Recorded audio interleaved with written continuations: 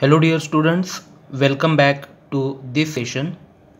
Today in this session we are going to start new chapter that is the third chapter of second standard that is uses of computers.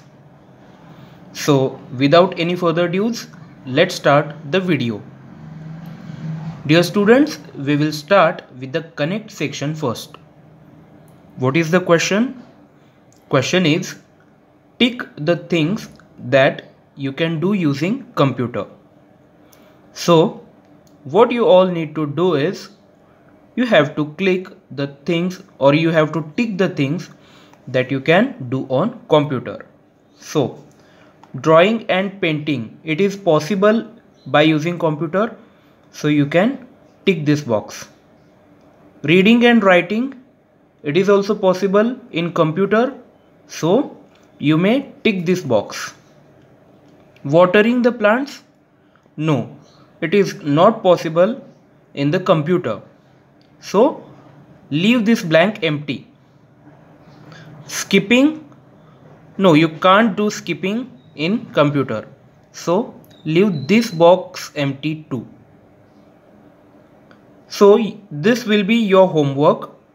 Don't draw any pictures Simply write down these things drawing and coloring, reading and writing, watering plants and skipping. S K I double P I N G skipping. I think this part is a little bit dark so I just told you the spelling. Just write down these things and tick in front of those things that you can do on the computer. Okay. Dear students, in this chapter, we will be learning the uses of computers at different places. So, what is computer? Computer is a smart machine. It does not make mistakes that we have learned in previous chapter, right? It makes your work fast and easy. So, when you use computer for your work such as uh, sending letters or to do some calculations solving sums you use computers. And that work will be done very fast by using computer. You can draw pictures play games write letters watch cartoons listen to the music and do calculations on the computer so these are some things drawing a picture, playing games, writing letters, watching cartoons. These are some things that we can do on computer. Let us learn about the uses of computers at different places. Now, in schools, teachers use computers to teach in class.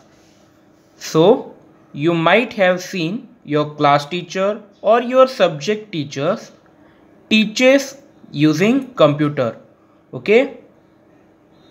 Now second use teachers use computers to make test papers worksheets timetable and report cards for students.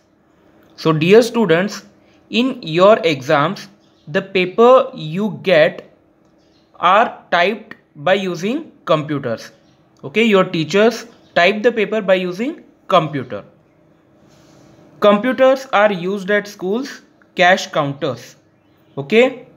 In our office too, you might have seen the computers. Okay. The computers are used at school cash counters.